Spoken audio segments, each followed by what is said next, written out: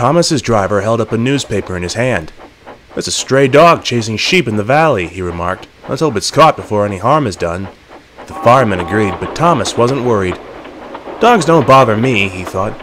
I just blow steam at them, like Toby did with that bull. That would soon show him what's what. The signal arm dropped, and Thomas set off happily with Annie and Clarabelle.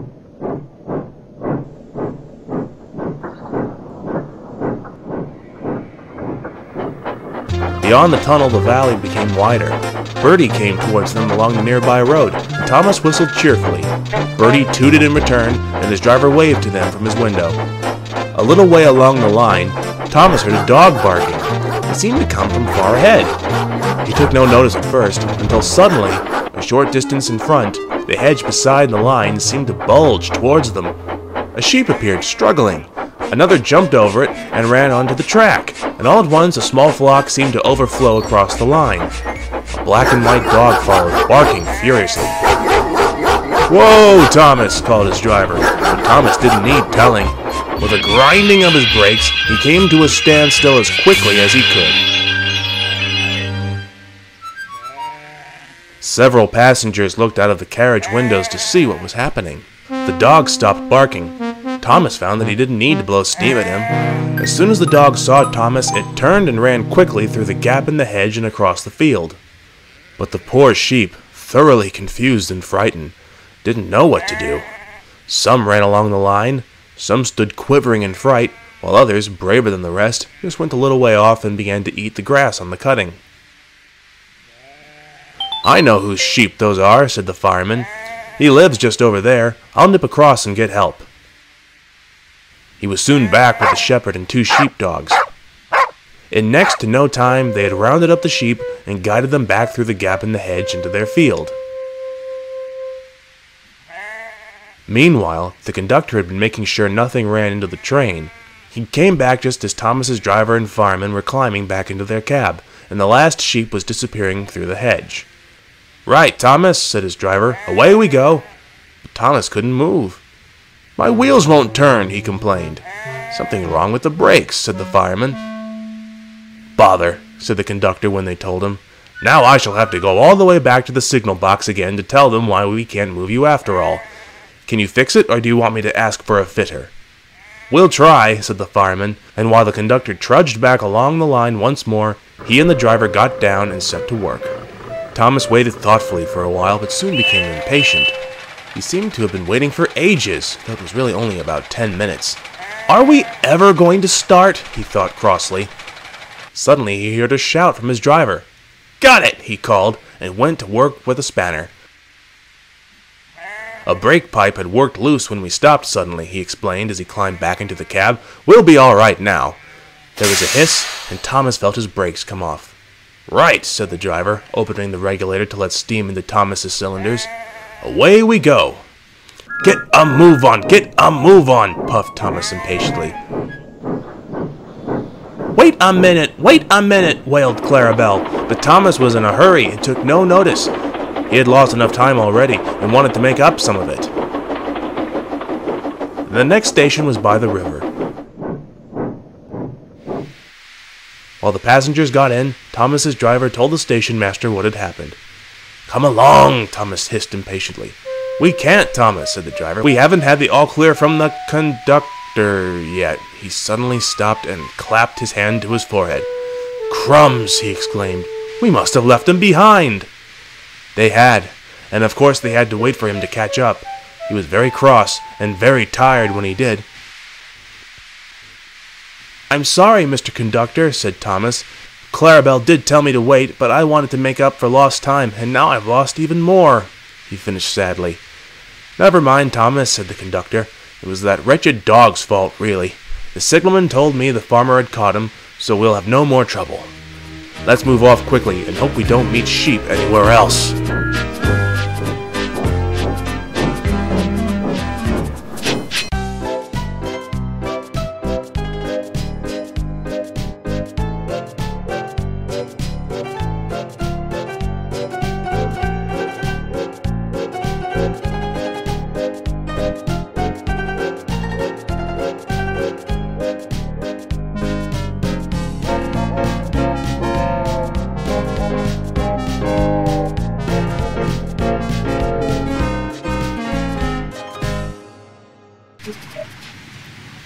Percy was talking to James in the shed at the big station. My conductor was telling me how lonely he gets in his van. I think he ought to take some passengers sometimes. It might cheer him up. He's not allowed to do that, said James virtuously. It's against regulations. Conductors are important, and passengers might distract them so that they couldn't look after the train properly. Oh dear, yes, I, I suppose they might. they can do it on the Midland, put in Gordon. Someone told me about it when I went to Carlisle with that special. But they don't do it on the other railway. It's on some preserved line where they haven't got any coaches. You see, James? said Percy triumphantly.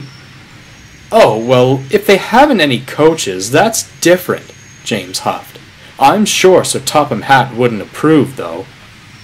Huh, replied Percy cheekily. Little you know. He puffed away to collect some trucks from the harbor.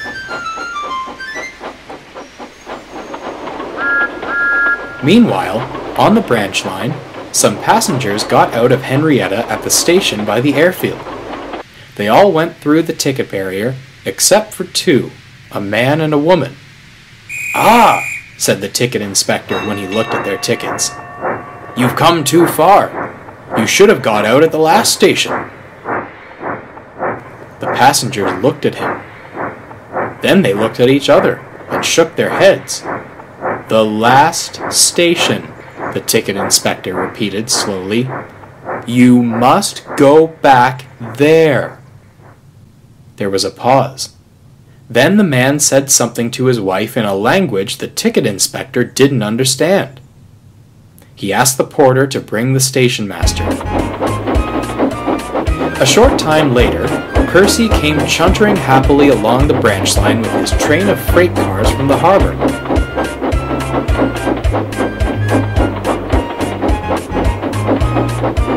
He saw the signal at the station by the airfield set at danger, and the station master waiting for him on the platform.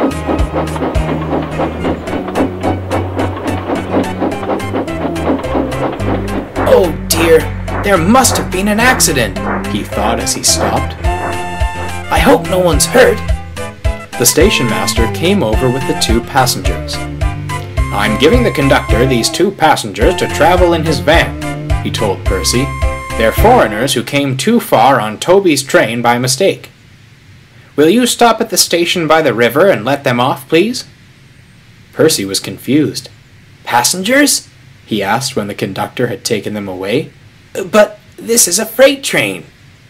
That's right, Percy, said the station master. They're going to travel with the conductor in his van. But James says it's against reg. Uh, it's not allowed. The station master laughed. Oh, James is right, Percy. But I don't think James or Sir Topham Hatt would mind us helping two foreign visitors on our island who can't understand our language. Do you?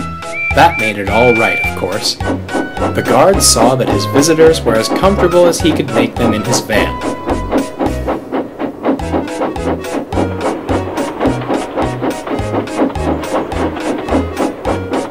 And when, a few minutes later, they reached the station they wanted, they came to the front of the train to see Percy. They nodded and smiled and shook hands with the driver and fireman. Then the conductor showed them to a taxi, which was waiting to take them on the rest of their journey. A few weeks later, a parcel arrived with brightly colored foreign stamps on the wrapping. Inside were warm new scarves and gloves for Percy's driver, fireman, and conductor, and a letter addressed to Sir Topham Hatt saying how splendid his railway was. Percy was proud, but he didn't tell James. It might make him jealous, he said to himself, and that would never do.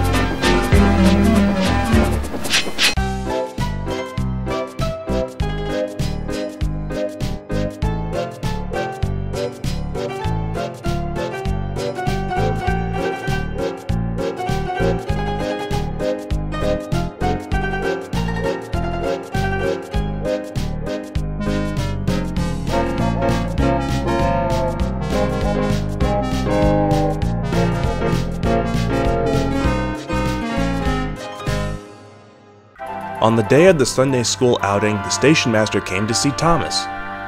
Bertie is broken down, he said. Sir Topham Hatt wants you to run a special train. But they're going to the mountains, objected Thomas. Our line doesn't go there. No, agreed the driver, but the electric one does. Thomas was excited.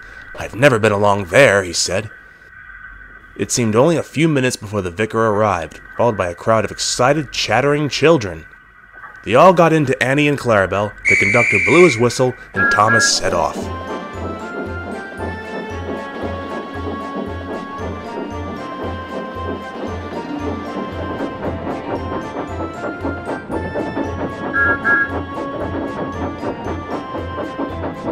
He whistled cheerfully as he passed Edward's station. Edward was so surprised to see him that he nearly forgot to reply. He went up Gordon's Hill in great style.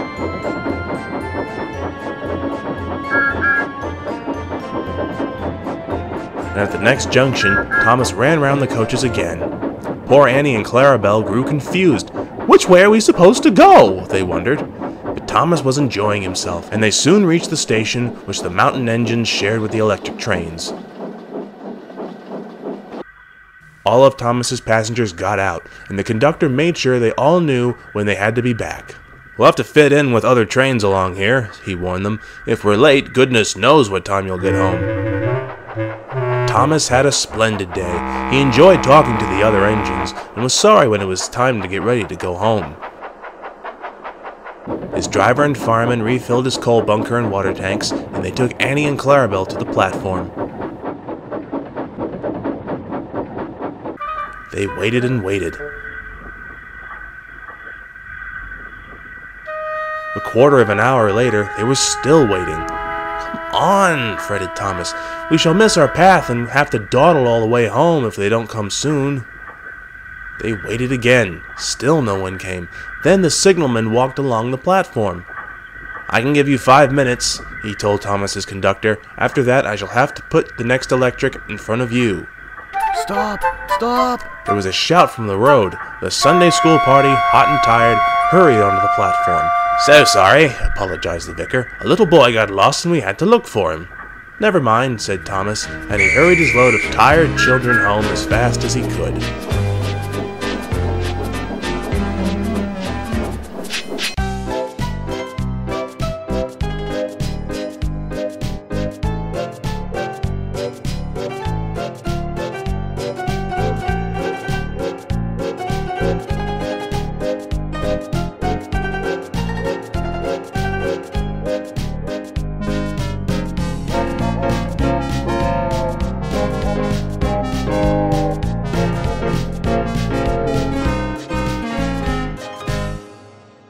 James was feeling sorry for himself. I'm getting old, he'd grumbled to the other engines one morning. I can't get about like I used to. It's all right for you younger ones, but my wheels are getting stiff. Edward, Gordon, and Henry had all been on Sir Topham Hatt's railway for much longer than James, but they didn't say so. At last, Henry got tired of James's complaints. Poor old groaner, he said. It's no use you just sitting there moaning. Why don't you tell Sir Topham Hatt that you're past it? James didn't like that idea. Not all old engines, so he had heard, were preserved. Some, they said, were sold for scrap. Best not, he said nervously, shuddering a little at the thought.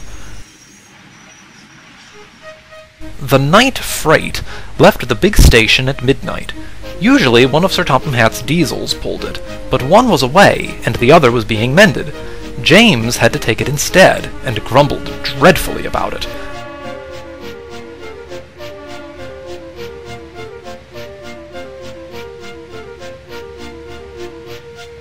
All this extra shunting, he snorted indignantly.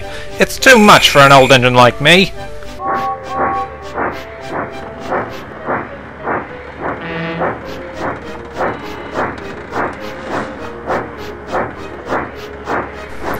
Few days later, an inspector came to the shed.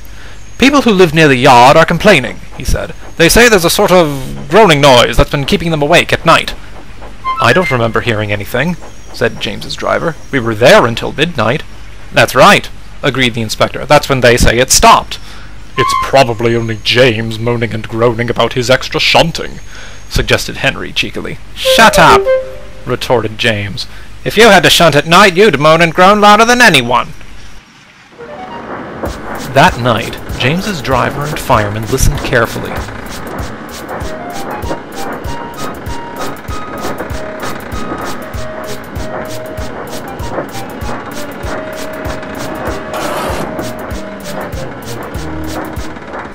It is you, James, they said at last.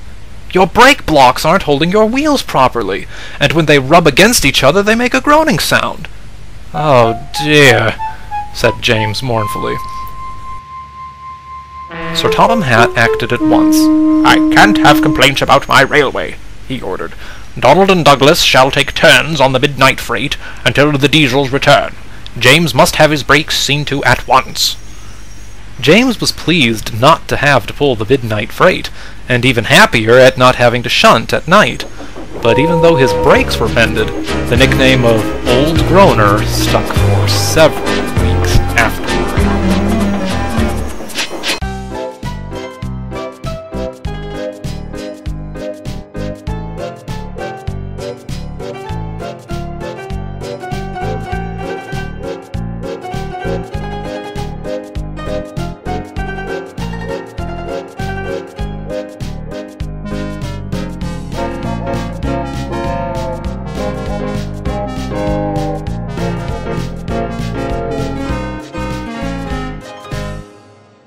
Donald and Douglas help with the goods traffic on Duck's branch line. In the summer, when the weather is fine, they enjoy it. But they don't like it so much in wet weather. No engine likes being rained on. Henry even stayed in a tunnel to avoid it. But because there's no turntable at the end of Duck's branch line, the tender engines have to travel backwards, tender first. It's not good enough, Donald grumbled to Duck one wet day. How can Sir Topham Hatt pit a turntable up here, eh? He probably doesn't think it's worth it just for Oliver and I, replied Duck. Humph, snorted Donald. You should try riding in a cab on a day like this. Is that right for you? You've got to put up a back to your cab that keeps the rain away when it's coming down in torrents. Duggy and me didn't have anything. In an effort to keep some of the rain off, the twins' crews rigged up tarpaulins from the back of the cab roof down to the front of the tender, which acted as a sort of tent. It helped, but when it was windy, the tarpaulin would flap and make itself a nuisance. But at last, the weather improved.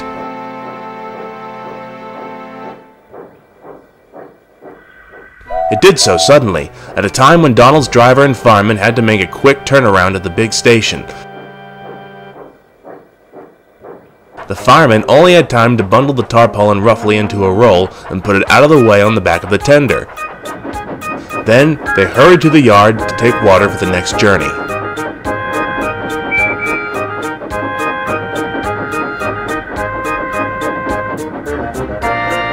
Just before they set out with their goods train, the fireman, who was shoveling coal forward from the back of the tender, noticed the tarpaulin had disappeared.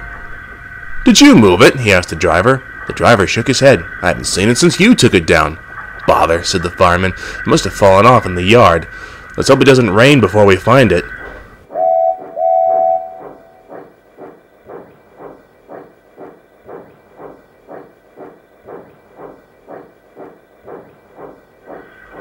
They reached Arlesburgh safely, but on the way back, they had to wait outside the middle station. Jings, Donald complained after a while. I'm awfully thirsty. His driver opened the injector, but no water came from the tender into the boiler. Try yours, the driver told the fireman. He did, but it made no difference. Oh, Clevens, Donald groaned. I've got such a pain. Your injectors have failed, said his driver. There's nothing else for it. We'll have to drop your fire and then try and report it.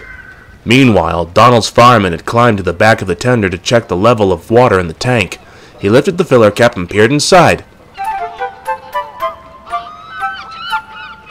Well, I'll be, he exclaimed. So that's where your tarpaulin went. Seizing a long steel pole, he plunged it into the water and managed to pull the sodden tarpaulin away from the feed pipe which it was blocking. In no time at all, water was soon flowing freely back into Donald's boiler and he was able to carry on back to Tidmouth.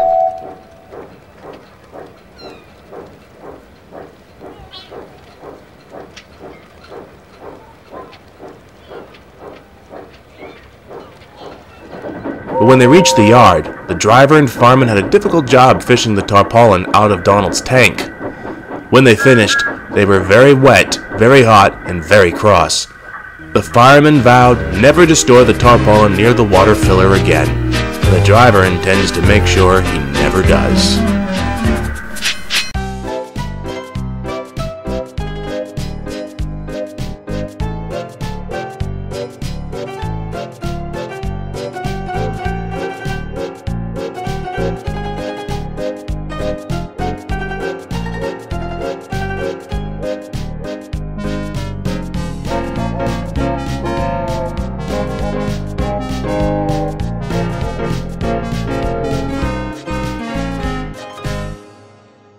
Trevor the traction engine chuntered happily along the road.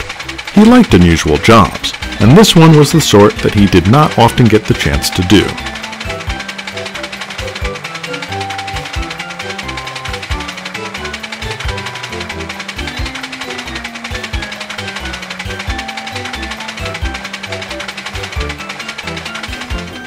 A farmer had some old cherry trees which didn't give fruit anymore, and he had decided to plant new ones in their place. He had telephoned Trevor's owner, the vicar of Wellsworth, to ask if Trevor could help pull the old trees out of the ground. Of course he can, Replied the vicar. he'll be delighted. And so, one bright autumn morning, Trevor and his driver, Jem Cole, were making their way to the farm. They had some distance to go, so they had started early, and now, about halfway there, they stopped to refill Trevor's water tank from a roadside stream. It was near the railway, and while Trevor enjoyed his drink, Edward, whistling cheerfully, passed with his first train of the day.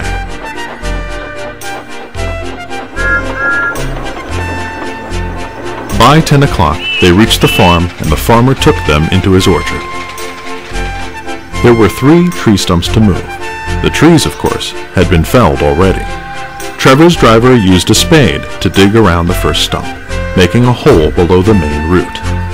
Then he pushed chains through the hole, looped them round, and fastened them to the towing bar beneath Trevor's bunker. Right, he said to Trevor as he pulled the lever. Heave! Trevor struggled to move forward, pulling hard. There was a creaking noise from the tree stump, but it didn't move. Oof! panted Trevor. This is a tough one. He tried again.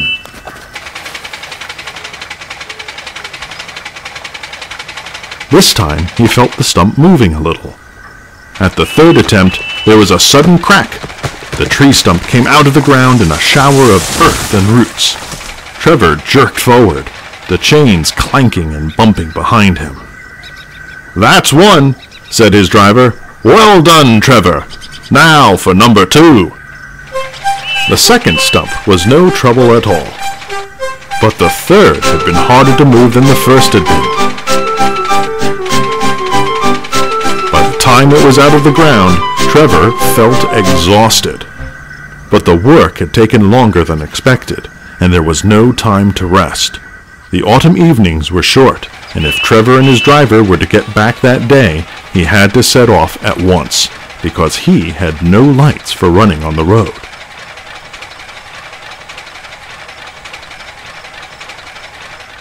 They stopped when they reached the stream. Trevor's driver placed the hose into the water and opened the valve. Thankfully, Trevor sucked the cool water into his tank.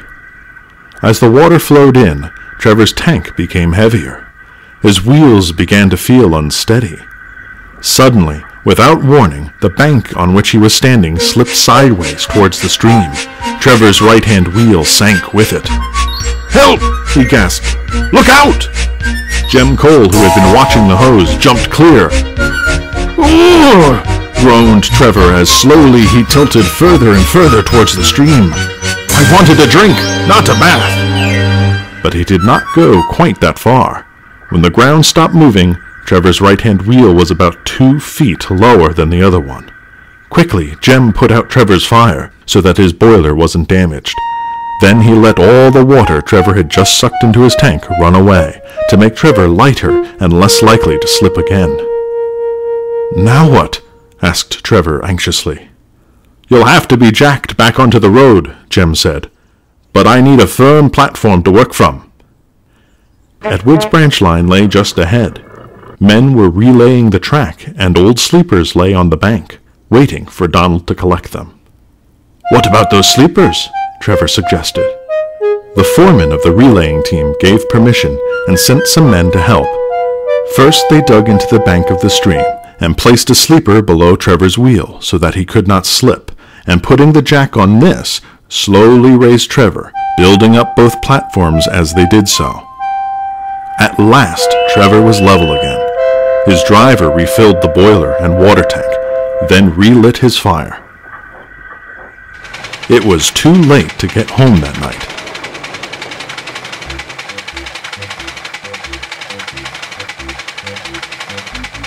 But there was a farm nearby. Jem went to ask if Trevor could spend the night in the farmyard. By the time he came back, Trevor had just enough steam to move safely off the road.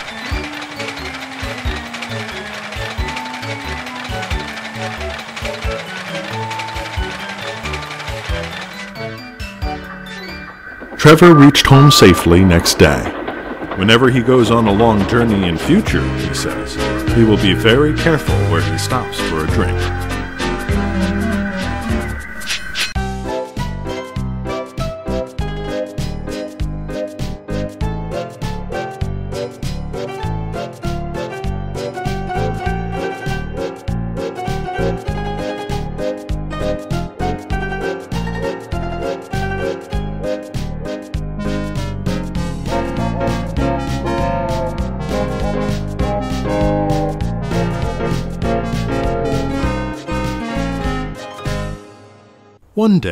Bird flew out of the bracken beside the line and hit Percy's buffer beam. The driver rescued the bird and put it in the cab.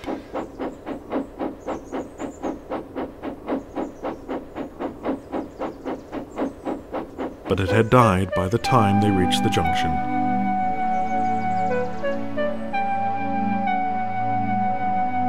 Driver said it was a pheasant, Percy told the others.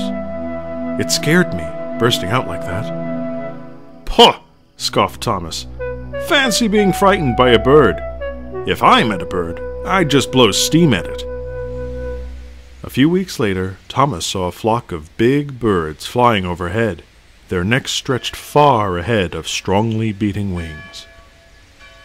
Swans, said his driver. Swans were royal birds once, and some still belong to the Queen. Why are they here then? Thomas wanted to know. Did the Queen bring them when she came to see us? The driver laughed. No, Thomas, just the ones in the river near her home belong to her, he said. Swans are protected birds, and no one must kill them. What if we ran into one by accident, like Percy's pheasant? asked Thomas. I don't know, replied his driver but I think I'd rather not find out. Next day, Thomas stopped for water at the station by the river.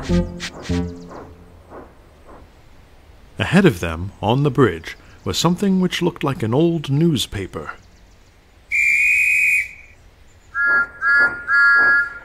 Thomas puffed on.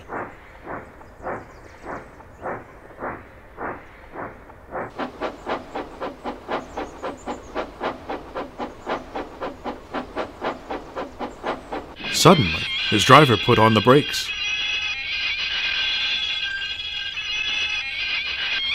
When they stopped, Thomas realized that he was face to face with a very large, cross swan.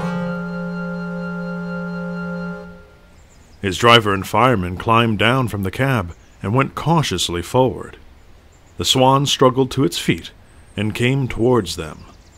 It arched its neck spread one wing wide, and hissed loudly. Thomas jumped, and steam hissed from his cylinders. This only made the swan crosser, and he pecked at Thomas's driver. He and the fireman ran back to the cab.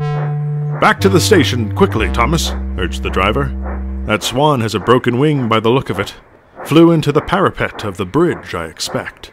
We must fetch help.